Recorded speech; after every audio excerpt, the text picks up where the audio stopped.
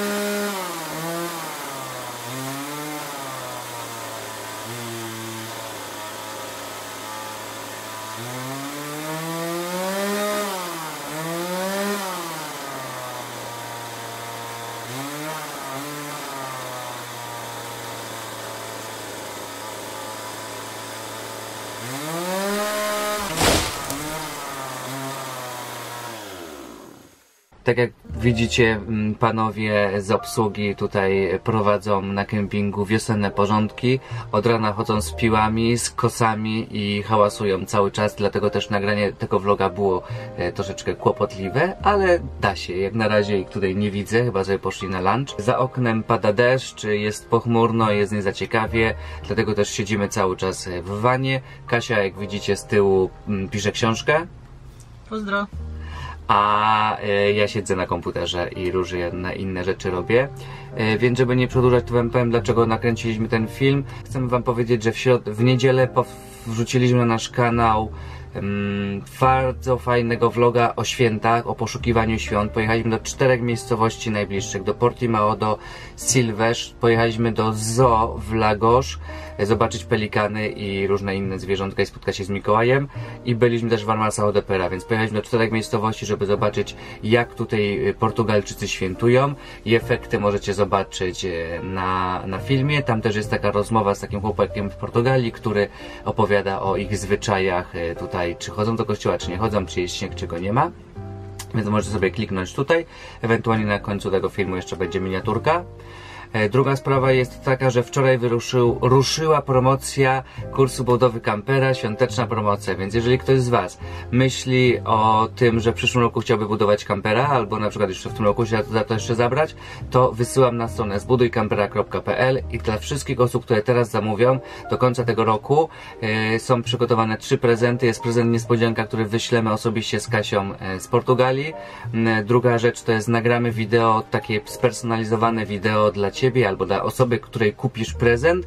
Więc jeżeli na przykład macie dziecko, albo syna, albo córkę, którzy myślą o budowie kampera, to możecie im kupić taki kurs, albo chłopaka, albo dziewczynę i tak dalej. Plus e, lecie, jak będziemy jeździć po Polsce, odwiedzimy część z osób, które ukończyły budowę vana albo będą na finiszu i zrobimy odcinek van tour, który pokaże cały, całego waszego vana, wasz, wasze kanały na social mediach i tak dalej i to wszystko będzie wyemitowane u nas na kanale Podróżowanie.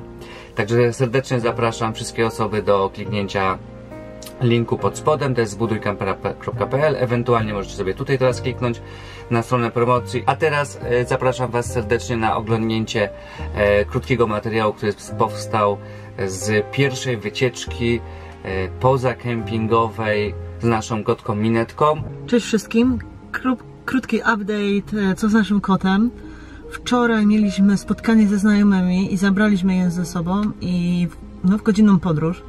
E, No i ta podróż niestety nie była zbyt ciekawa. Bardzo miałczała. Początkowo była e, puszczona wolno, ale potem zamknęliśmy ją w transporterze. No i strasznie cierpiałam, bardzo miałczała. e, Nie mieliśmy jeszcze wtedy smyczy, więc nie wypuściliśmy ją, a bardzo chciała wyjść. No natomiast przeżyła to wszystko i dzisiaj, kiedy wracamy już samochodem na kemping, trochę miałczała, ale jest spokojniejsza. Teraz siedzi właśnie w transporterze i jest już całkiem spokojna, co jest bardzo dobrym oznakiem. Nawet sobie śpi lekko. Także są nadzieje, bo jeszcze wczoraj byliśmy przerażeni i myśleliśmy, że ona się nigdy nie nauczy jeździć. Teraz widzimy, że troszeczkę się uspokaja. Kupiliśmy jej także e, taką ubraż, taki kolarek, nie wiem jak to się nazywa, kamizelka i ona jest na smyczy. E, Kupiliśmy jej dzisiaj tabletki na robaczki, bo nie wiemy, raczej nie dostaje w ciągu roku. I idziemy jeszcze do jednego weterynarza zapytać o, o to, ile by nas kosztował chip, paszport i tak dalej.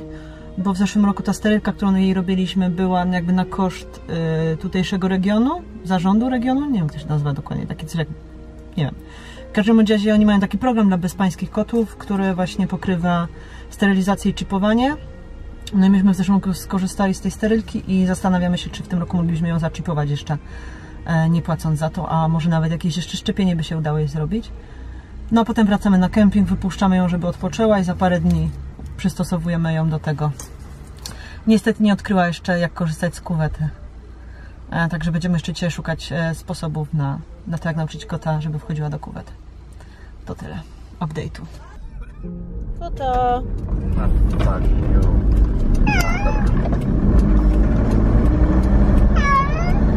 No jeszcze chwilkę. Przyjdę zaraz do ciebie.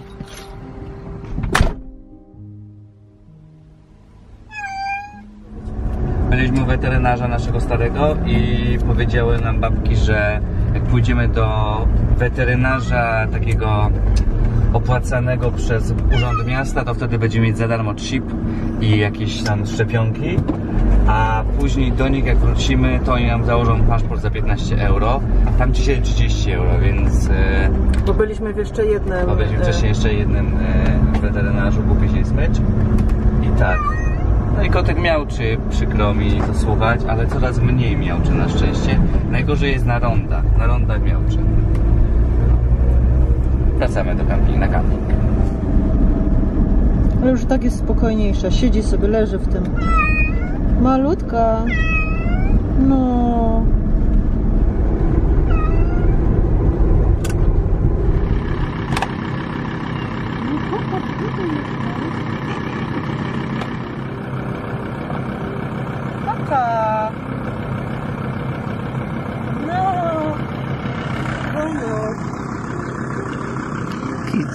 そ。